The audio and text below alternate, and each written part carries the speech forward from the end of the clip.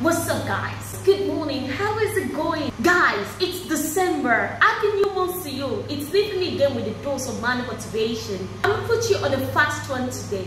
I want to know, how fast can your mind process this? O-P-P-O-R-T-U-N-I-T-Y-I-S-N-O-W-H-E-R-E. You know, it all depends on what you see and how you see it. You may have seen it as opportunity is now here or opportunity is nowhere.